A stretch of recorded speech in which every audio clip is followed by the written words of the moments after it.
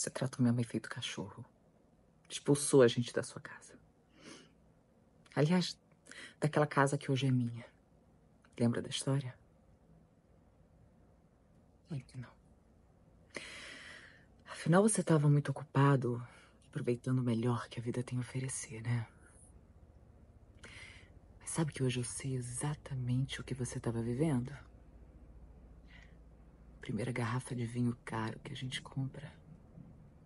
O primeiro carro que custa um absurdo.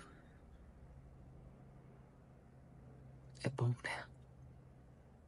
Vicia.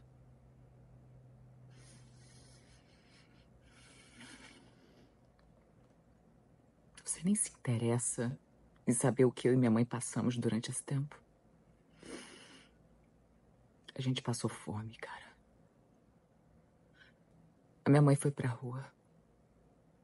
A minha mãe se prostituiu pra gente ter o que comer. Mas não acabou por aí, não.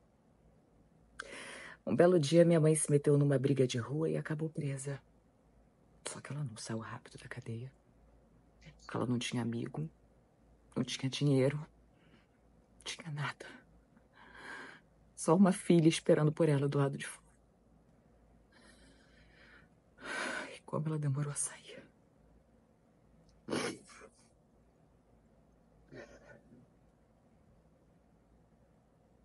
Por isso que eu tô achando boa graça te ver aí.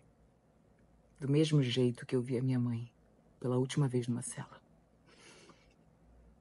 Eu tô vendo a justiça ser feita pela primeira vez na minha vida.